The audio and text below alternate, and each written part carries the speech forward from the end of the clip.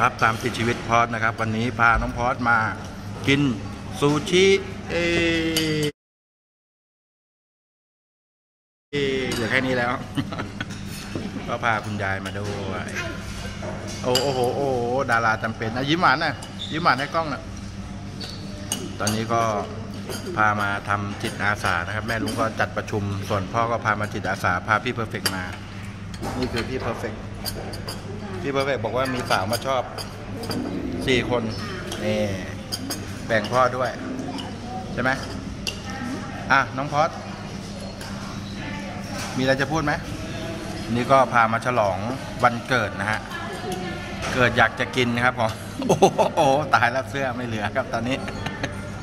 อาจจะไม่ชัดนิดนึงนะครับเพราะว่าถ่ายย้อนแสงนะฮะ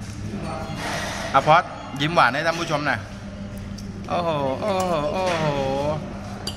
พี่พันธ์ก็ไม่อยู่นะฮะ ไป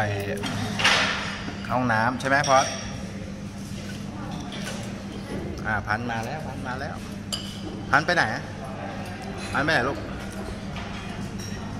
ก็ตอนนี้กินได้สักพักแล้วนะครับ ก็ย่อยนิดนึงฮะ เพราะว่าเยอะมาก ครับร้านนี้ให้เยอะมาก เยอะกว่าที่ที่ห้างอีกนะฮะ ก็เลยพาลูกๆมากินกินกันหลายคน อันนี้พี่พันธ์นะฮะพี่พันธ์ติ๊กต็อกตอนนี้ทำได้สองคลิปเลิกทำแล้วตอนนี้ใช่ไหมพอดโอเคครับคลิปนี้ก็เป็นคลิปสั้นนะฮะเพื่อจะลงวันเสาร์